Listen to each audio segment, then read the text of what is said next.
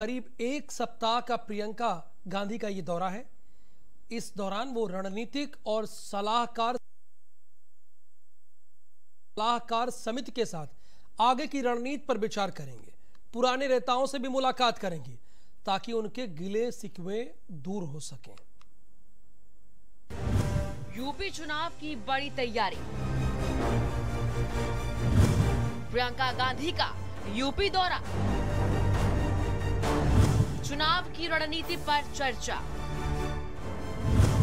पुराने नेताओं से करेंगी मुलाकात।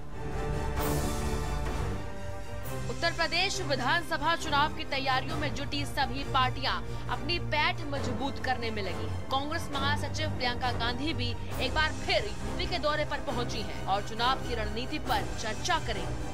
कि प्रियंका गांधी, उनके साथ आराधना मिश्रा, मोना, अजय लल्लू, ये तमाम लोग लोग जो है, वो यहाँ पर मौजूद हैं। पाँच दिवसीय दौरे पर वो लखनऊ आई हैं। रायबरेली अमेठी के साथ साथ विभिन्न मंडलों में भी वो बैठक करेंगी कार्यकर्ताओं के साथ और उसके बाद वो दिल्ली जाएँगी। यानी कि चुनावी तैयारियाँ अब शुरू हो गई हैं।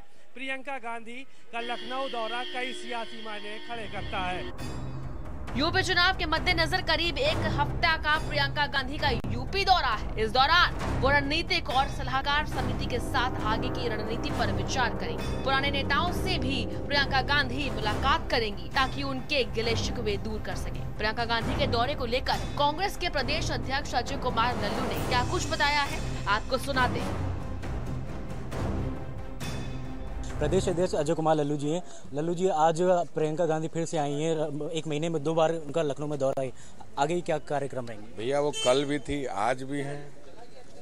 लगातार हैं, लोगों के विश्वास में, भरोसे में है। और मैं समझता हूँ कि आदरणीय प्रियंका गांधी का तो उत्तर प्रदेश घर है। और घर में कोई रोज आता जाता थोड़े हो तो यहीं रहता है, यहीं निवास करता है। आगे क्या रणनीति रहेगी? क्या कुछ कार्यक्रम रहेंगे प्रियंका जी के? देखिए जो आने वाले दिन में कांग्रेस प्रतिज्ञा महारैली का आयोजन है संभागों में जो आने वाले दिन में कांग्रेस प्रतिज्ञा यात्रा निकलनी है हम वचन निभाएँगे। और खासकर जो बूथ और ग्राम सभा इकाइयों का प्रशिक्षण होना है उसी के संदर्भ में बैठक करने स्ट्रेटर्जी कमेटी प्लानिंग कमेटी के साथ चर्चा करने और उसको अंतिम रूप देने के लिए आएँगे अपने से भारत समाचार के लिए दिलवाश।